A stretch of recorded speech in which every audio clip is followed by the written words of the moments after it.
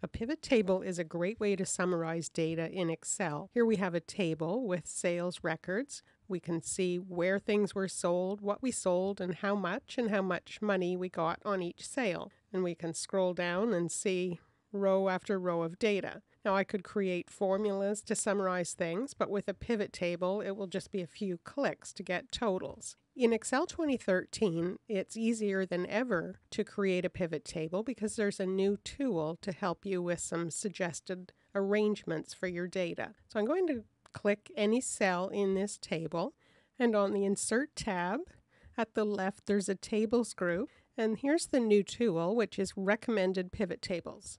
So I'll click that. It opens up a new window, and based on the data that I've got here, it's suggesting some layouts. So the first one is showing the cities, and then taking the total price and giving me the total sales in each city. So that might be useful if I'm interested in where things are selling. If we want to know what's selling, here's a layout that has the different product categories, and then for each region, how much we sold. Below that, we can see those product categories again and just the total price instead of broken out by region. You can scroll down, there are lots more options. If I go down further, we're looking at the product categories and then the product names below that. And this time it's the quantity rather than the price. So we'll select that one. I'll click OK. And it puts a new sheet in the workbook.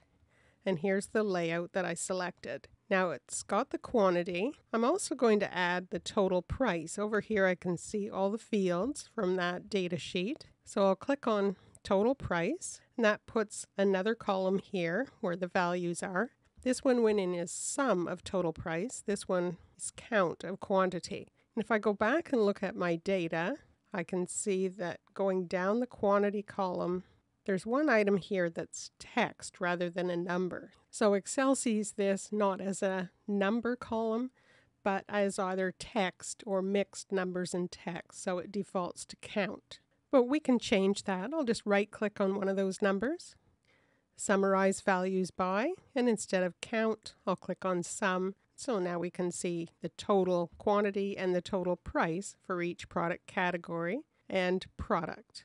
So it's a quick way to get started. You can change the layout after you've selected one of the sample layouts, but you're up and running very quickly.